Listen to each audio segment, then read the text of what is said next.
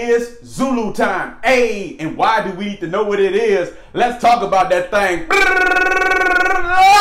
Boom! As a pilot, whenever you reference time, more than likely it will be in Zulu time. And it's done that way for a very special reason. When you think about it, you got pilots flying and swinging and banging that thing all over the world in various time zones. It can get very confusing if everyone was just to use their local time of the time zone that they're in. So what is the appropriate solution? The appropriate solution is to have everyone who's sitting in the cockpit flying that thing to use universal time. Zulu time, baby. Let's talk about what that thing is and how to calculate it easily. Let go! Boom! We back off in that thing. Now we understand why we even use Zulu time because we need that universal time coordination so everybody's on the same page, everybody's referencing the same time.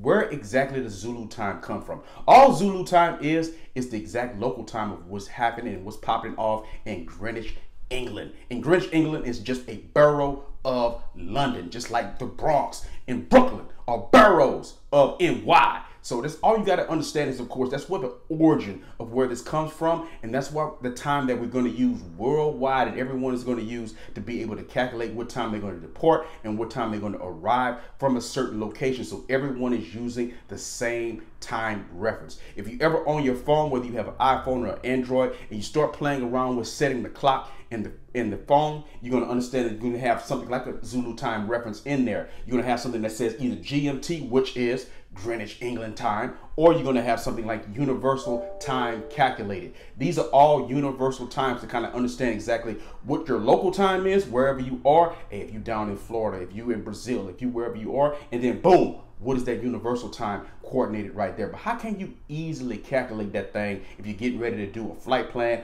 or someone throws a Zulu time at you and you're trying to understand exactly, of course, what does that mean for the local time that I am and how can I go back and forth between the two?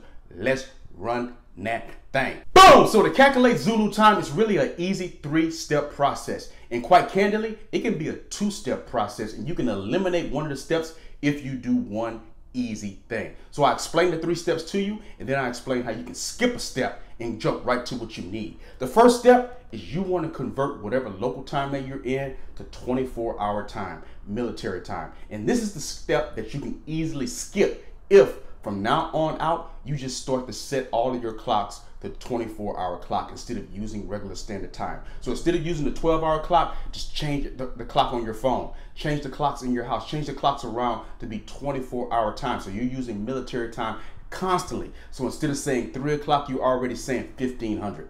Instead of saying 5 o'clock, you're already saying 1700. And you're easily calculating that and you're becoming very familiar with that. So that way, when you do your pilot calculations, everything becomes normal to you because your watch is set a certain way, your phone is set a certain way, and you're already set to that time and you don't have to convert anything. So if you start doing that on a regular basis every time you refer to the clock, then you can skip that step. But if you haven't done that step, that's the first thing you want to do.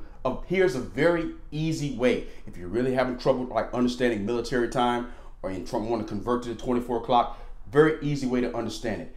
Everything before 12 noon is just simply the time that it is. So if you look at the clock on the 24 hour period and it says that it's 10 a.m., that's exactly what it is. It's 10 a.m.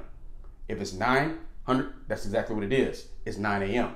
Anything past 12 noon, all you're going to do is just add 12 to it, whatever number it is. So let's just say the regular standard clock says that it's 2 o'clock in the afternoon. You're going to add 12 to it because it's past 12 noon, right? So if you add 12 to 2, what do you get? $1,400. Let's just say it says that it's 530. You're going to add 12 to 530. If you add 12 to it, what you're going to get? You're going to get 1730. So all you're doing is just simply that. Anything before 12 noon, whatever the clock reads, that's exactly what it is. Anything past 12 noon, you're just going to add the number 12 to it to calculate your 24 hour time or your military time. That's a nice, simple way if you don't want to skip step one and you want to keep all of your clocks on the standard time. Let's run that thing. Second step to calculating Zulu time, you got to determine what season it is. Are you in standard time or are you in daylight savings time? Usually those summer months, you know when the time changes, in between March and November now eh, that things have been adjusted, you understand that that's daylight savings time versus the winter time when you're in more of a standard time. So you need to understand what season it is. That's very easy. All you gotta do is just pay attention. Hey, okay, what month is it right now? It's June. It's July. It's August. We're right in the middle of daylight savings time. Or it's we deep in the winter in the part of winter. We're in more standard time. That's going to be very important for when you look at your chart to know whether or not you're in standard time or daylight savings time. So the first two steps, easy money. Let go. Hey, and then the third and final step to calculating Zulu time, you're gonna want to use a conversion chart. And you kind of can be able to, once you I show you this conversion chart and you can take a picture of it and you can also find Google and find these conversion charts to Zulu time anywhere on the internet and you can have that as part of your flight bag You can also have that part of your flight plan. And again, we talk about how you can always bookmark things and have a notebook of information ready for you, particularly when you get ready to take your oral exam or when you're getting ready to calculate your flight plan for your check ride and all that good stuff. This is a very nice chart for you to have handy so you can run those calculations. And you can also be very familiar with it. And I'll show you some easy little tricks of what you need to focus on and what you need to remember. Let's flip that thing. Flippity, flip, flip, flip, flip, flip, flip, flip, like some flapjacks. Boom! There it is. This is the Zulu time chart that you want to familiarize yourself with and make sure you understand that conversion chart. And it's read this, it's very simple. What you're going from to what you're going to. You're going from whatever your local time is, and you're going to convert it to the two. And when you get to that two form, you're going to have your Zulu time. For example, this is broken out from the from section based on the time zones that you may be familiar with. Are you on Eastern time, Central time, Mountain time, or Pacific time? Where's your home base? Where do you fly out of? So let's just say, for example, you swinging and banging, you dipping that thing on the West Coast. So you in the Pacific area. Okay, so you're down in the Pacific area, and we already talked about what season is it. It's daylight savings time. So just based on this chart alone, you automatically know you can ignore everything else. You're only going to use the Pacific daylight time. And it tells you if you convert Zulu time, you need to add seven hours to whatever it is. So that's all you're simply going to do. So if it tells you right now that it is one o'clock in the afternoon. One o'clock in the afternoon is what 24 hour time. Remember, add 12 to it. So that means that it's 1300 hours, right?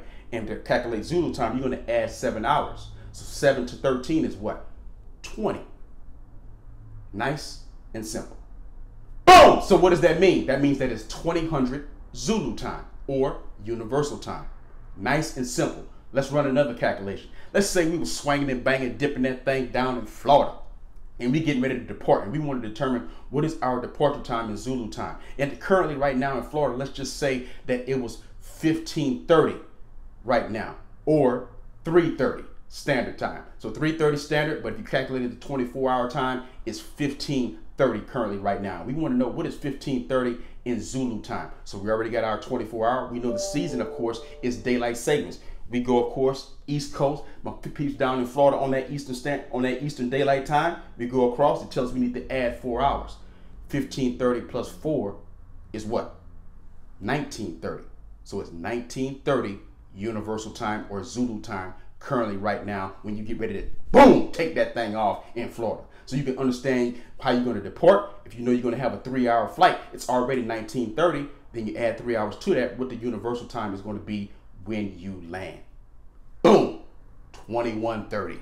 Nice and simple. That's how you calculate that Zulu time. Understanding this chart and then putting your numbers together to be able to add something next to it. The easy way to kind of remember this chart, remember, more than likely, particularly at the private pilot level or just locally when you're flying and sliding and dipping around, you're going to be flying near your home base most of the time. So think about where your home base is. Are you in Pacific? Are you in Central? Are you in Mountain? Are you in Eastern? And then all you got to remember basically is two numbers.